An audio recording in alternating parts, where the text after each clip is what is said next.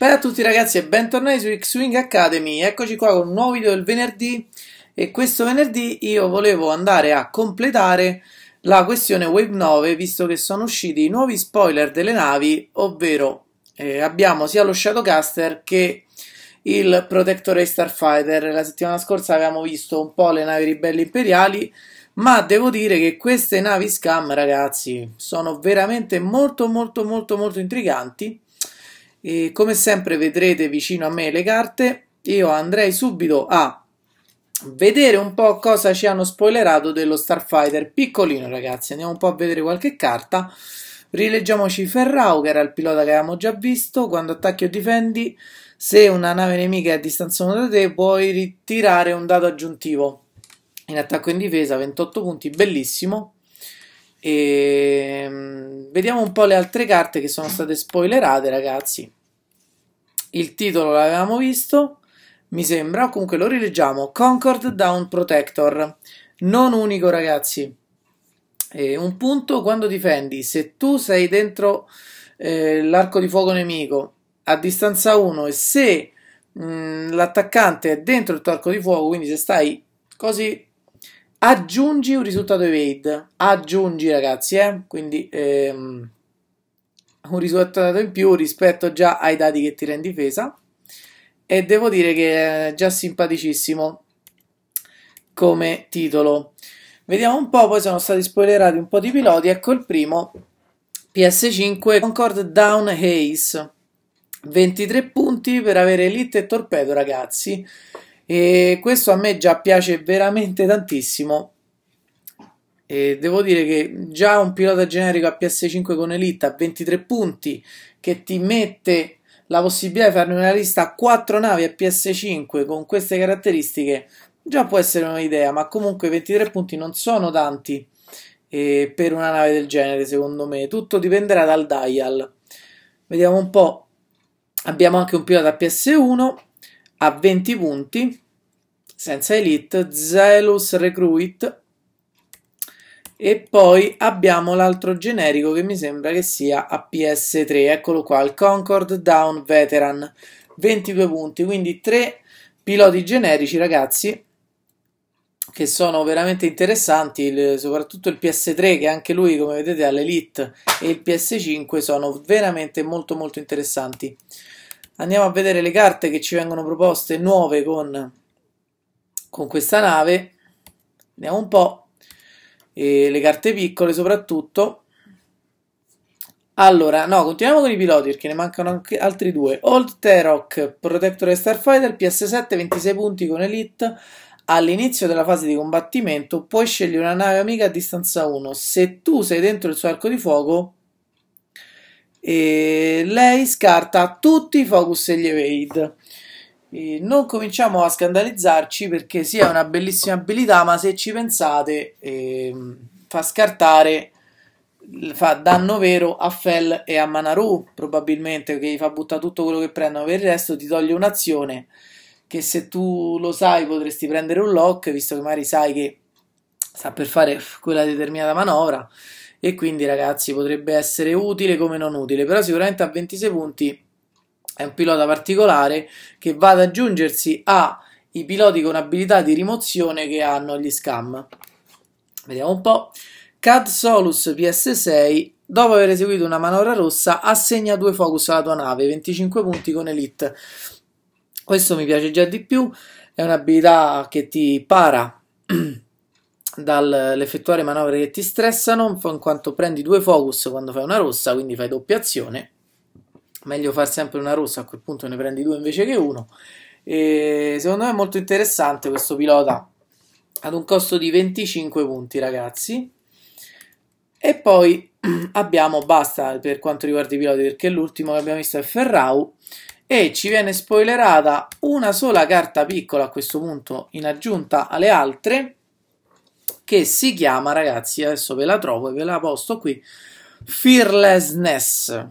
Scamolli un punto e un elite. Quando attacchi, se tu sei all'interno dell'arco di fuoco del nemico a distanza 1 e se il difensore è all'interno del tuo arco di fuoco, puoi aggiungere un hit al tuo roll. Quindi questo praticamente è un titolo per questa nave invertito, cioè in attacco quando ti trovi così, tu aggiungi un evade tu aggiungi un attacco, un, dato, un risultato hit in attacco. Secondo me è interessantissima questa formula.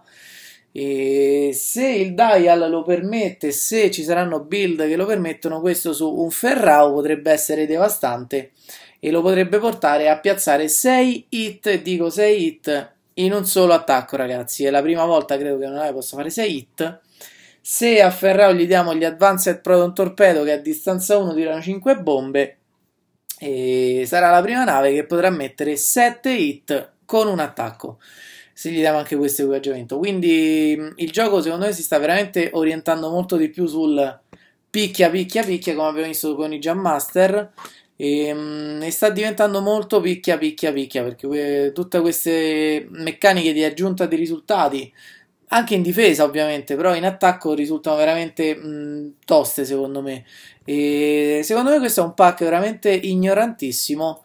E mancava un po' la figura dell'asso nelle liste scam e questo pacco sicuramente se il dial sarà ehm, giusto per questa nave sicuramente potremo vedere, vedere i primi assi scam ragazzi. Questo è per quanto riguarda il Protectorate Starfighter, adesso ci andiamo a gustare la nave grande degli scam. Nuova nave grande, Shadowcaster, arco di fuoco mobile, iniziamo a vedere come funziona. Vediamoci il titolo. Dopo aver effettuato un attacco che colpisce, se il difensore è all'interno del tuo arco di fuoco mobile ed a distanza 1-2, puoi assegnare un Tractor Beam token al difensore. 3 punti per questo titolo che messo su una nave PS alta abbassa l'agilità di tutti per, per gli attacchi successivi può essere molto interessante. Vediamo un po'. Tractor Beam Token ci viene ricordato cosa fa, ma lo sappiamo tutti. Puoi spostare la nave e metterla comoda comoda per fargli sparare meglio ancora dagli altri. E vediamoci i piloti. Ketsu Onio, Lancer Class, scusate, Pursuit Craft. Questo è il nome della nave a questo punto, perché Shadowcaster è il titolo. All'inizio della combat phase puoi scegliere una nave a distanza 1. Se questa nave è dentro il tuo arco di fuoco primario e il tuo arco di fuoco mobile, quindi deve passare in mezzo alla linea e lo devi poter vedere da entrambi gli archi, assegna un Tractor Beam Token.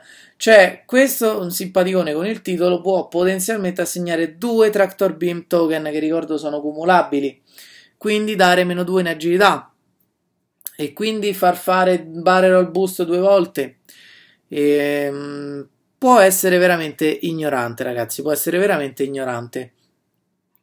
Vediamo poi eh, che, quanto costa: 38 punti a PS7. E Elite, Crew e doppio illicit. Anche il doppio illicit darà luogo, secondo me, a nuove combinazioni di ignoranza. Ed è un pilota sicuramente simpatico. Non costa pochi punti per avere 10 punti ferita e difendere a 2. E, ehm, però mh, mm, mi sembra abbastanza interessante. L'abilità è, abbastanza casuale. Eh, sarà difficile secondo me farla attivare bene, però vediamo. Asashi Ventress, quindi questa che è un sit mi sembra a me. Adesso qualche fan mi ammazzerà, però io ricordo che è un sit che ha, combatte con due spade dal manico curvo come il Conte Doku. Asashi Ventress PS6 37 punti, Elite All'inizio della fase di combattimento puoi scegliere una nave a distanza 1-2. Se è all'interno del tuo arco di fuoco mobile, gli assegni uno stress. Questa mi piace molto. Questo mm, già l'ho visto, spoiler, è il pilota che mi piace di più in assoluto di questa nave per ora. Perché può essere mandato a PS8, ha una sorta di tattico integrato che con un tattico va a mettere due stress a turno. Eh ragazzi, non, non deve essere male per niente. Mi piace, mi piace, mi piace abbastanza. Vedremo un attimo come potrà essere inserita in qualche lista, ma mi, mi piace tanto la sua abilità. Come vedete, il girare l'arco di fuoco è un'azione. Sabin Vriu, questo mi sembra l'avevamo già visto, quando difendi eh, contro una nave nemica dentro al tuo arco di fuoco mobile a distanza 1-2 aggiungi un risultato occhio al tuo tiro di dado. Quindi difendi con due dadi più un occhio assicurato. Recon Specialist sembra quasi telefonato, ma chissà che magari non escano nuove carte, però mm, un buon Recon Specialist per sicuramente fare un evade a turno più risultati dei dati non è, non è male. 35 punti, manca l'elite da PS5, ma mm, la rincorsa alla PS alta è terminata secondo me, vedremo se adesso con questa wave si tornerà a, a voler andare di PS alta, ma per adesso vedo che si giocano anche navi a PS molto più bassa e vanno benissimo. Ok, vediamo se ci sono altri piloti spoilerati. Qui ci fanno vedere un po' di cose, poi andremo a vedere le crew, ragazzi, che sono veramente ignorantissime. E anche i missiletti nuovi, veramente carini. E non ci sono altri piloti spoilerati, quindi non sappiamo quanto costa il pilota base, che potrebbe essere una sorpresa come la fu eh, il Contract Scout. E G88D Crew, eh, un punto simpaticone tu hai l'abilità di ogni nave amica con l'IG-2000 Upgrade Card in addition, quindi in aggiunta alla tua abilità da pilota. Quindi che significa? Che se noi giochiamo questa crew IG su Ketsuonio, Ketsuonio oltre a fare il gioco di Tractor Beam prende l'abilità di un IG-88A che quindi reca anche uno scudo. E questo è per magari rimettere in campo un po' gli IG che sono completamente spariti e ti costringe però a giocare un IG perché devi avere la carta IG 2000 eh, su, da qualche pizzo, ma può dar luogo a delle combinazioni molto interessanti e poi costa soltanto un punto, ragazzi. È da vedere, a me mi piace molto su Bosk questa, questo tipo qua, magari far reccare uno scudo a Bosk che ha 12 ferite non è che mi suona proprio male per un punto, visto che Bosco può portare fino a 3 crew su di lui, eh ragazzi. Eh, può essere molto interessante. Vedremo come, come verrà gestita questa crew, ma sicuramente è molto bella. L'Alz Razzi, quindi il pilota che avevamo sull'YV666, lo abbiamo come crew a due punti. Quando difendi, puoi rimuovere uno stress token dall'attaccante e aggiungere un evade al tuo al tuo tiro, quindi questa sua Saci Ventress è bello, molto bello, di stresso, poi se mi devo difendere te lo tolgo e mi prendo un evade automatico, eh. madonna, meccanica carina, veramente interessante ragazzi, eh. Veramente interessante, anche contro assi questo, sì, contro assi magari lo destressi, fai solo un favore, però in situazioni estreme può essere molto interessante. E non male direi, non male, bellissima crew. Katsuonio, all'inizio della fase finale puoi scegliere una nave nemica all'interno del tuo arco di fuoco. A distanza 1-2 quella nave non scarta i tractor beam. Katsuonio è tutto organizzato sui tractor beam. O farli scartare. Mi sembra veramente una mossa alquanto scam. Mettiamola così.